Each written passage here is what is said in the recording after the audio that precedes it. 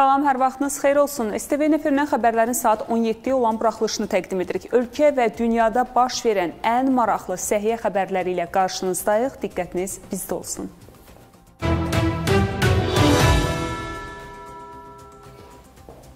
Bayram günlərində təcili tibbi yardım xidmətinə müraciətlərin sayı artıb. Çağırışların əsas səbəbləri isə respirator xəstəliklər olub. Daha ətraflı sujet izləyək.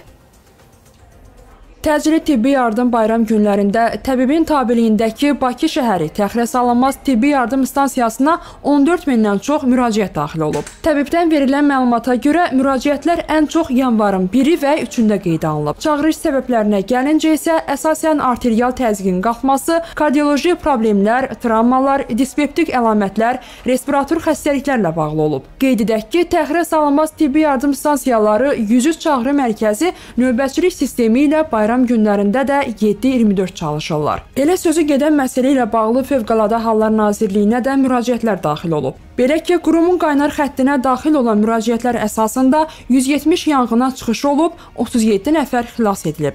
Fövqəladə Hallar Nazirliyi vətəndaşların həyat və fəaliyyətinin təhlükəsizliyinin təmin edilməsi, həyat təminatı və digər mühüm əhəmiyyətli obyektlərdə baş verə biləcək fövqəladə hadisələrə çevik reaksiya verilməsi, onların mümkün nəticələrinin operativ aradan qaldırılması işinin təşkili məqsədi ilə 31 dekabr Dünya Azərbaycanlıların Həmrəylik günü və Yeni il bayramı ilə əlaqədar gücləndirilmiş iş rejimində çalışıb. Belə ki, Fövqəladə Hallar Nazirliyinin 112 qaynar telefon xəttinə daxil olmuş sənglər əsasında Nazirliyin aidiyyəti qurumları tərəfindən bayramla əlaqədar qeyri-iş günləri ərzində ümumilikdə 170 yanğın yanğına çıxış, 26 köməksiz vəziyyətdə qalma, 3 nəqliyyat qəzası və 2 partlayış faktı üzrə qəza xilasetmə əməliyyatları həyata keçirilib.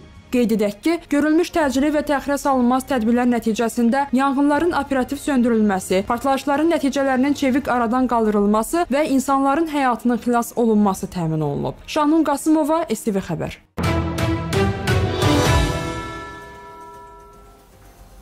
Sağlamlığımız üçün diqqət etməli olduğumuz məqamlardan biri də havada olan tozlardır. Hansı ki, ağciyərlərimizə zərər verən səbəblərdən biri və ən əsası da toz zərrəcikləridir. Əməkdaşımız İlkin Həsənli bununla bağlı reportaj hazırlayıb, izləyək.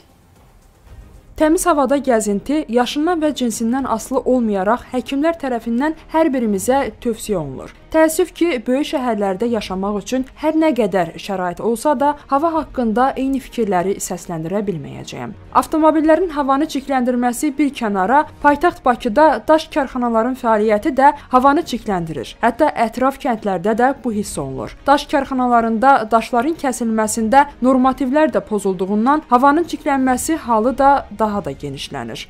Çox təəssüflər olsun ki, Bakı şəhərində havanın keyfiyyəti haqqında danışarkən biz yalnız çirklənmədən danışırıq.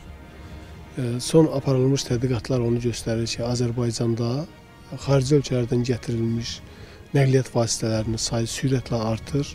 Bu nəqliyyat vasitələri əksəriyyəti işlənmiş köhnə nəqliyyat vasitəsidir.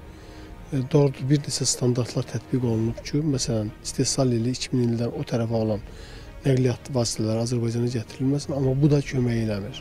Və getdikcə biz daha çox sıxlaşmanı görürük. Yəni bu gün nəqliyyat sektoru, avtomobillər hansı ki benzin və dizellə işləyir, atmosferi çirkləndirən əsas mənbələrdir. Ağciyərlərimiz orqanizmdə mühüm hava mübadiləsi funksiyasını yerinə yetirir. Ağciyərlərin normal fəaliyyətindən bütün orqanizmin sağlamlığı asılıdır. Böyük şəhərlərdə yaşayan, siqaret çəkən, pis qidalanan, ziyanlı istehsalatlarda işləyən, az hərəkətli, artıq bədən çəkisi olan insanlarda ağciyər xəstəliklərinin riski artır. Ağciyərlərin fəaliyyətini normada saxlamaq üçün mütəxəssislərin dediklərinə əməl etmək şərtdir.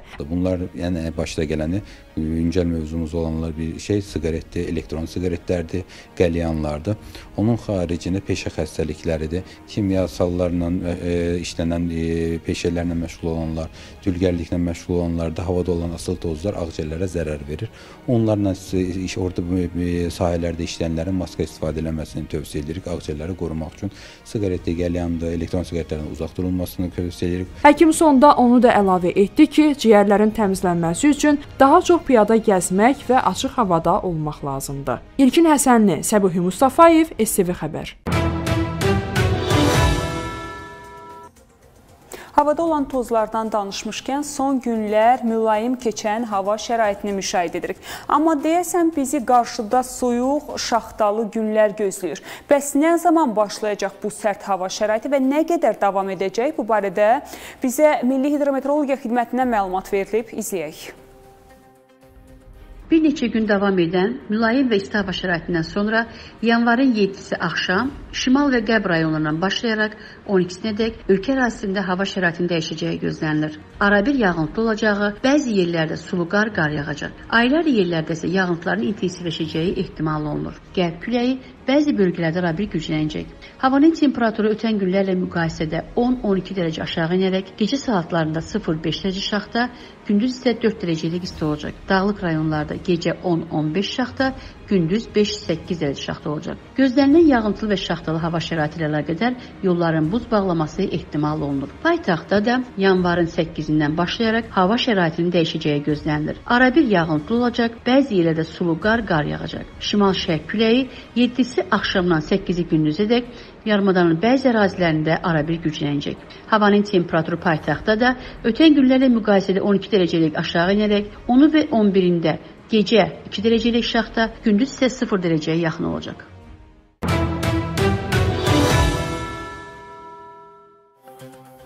Elə yeri gəlmişkən hava şəraiti İstanbul boğazında gəmilərin hərəkətinə mane olub. Bu barədə Türkiyə Sahil Mühafizəsi məlumat yayıb. Bildirilib ki, Türkiyənin İstanbul şəhərini Avropa və Asiya hissələrinə ayıran İstanbul boğazında qatı duman səbəbindən gəmilərin hər iki istiqamətdə hərəkəti müvəqqəti dayandırılıb. Hava şəraiti yaxşılaşdıqdan sonra gediş-gəliş bərpa olunacaq deyə məlumatda qeyd olunub.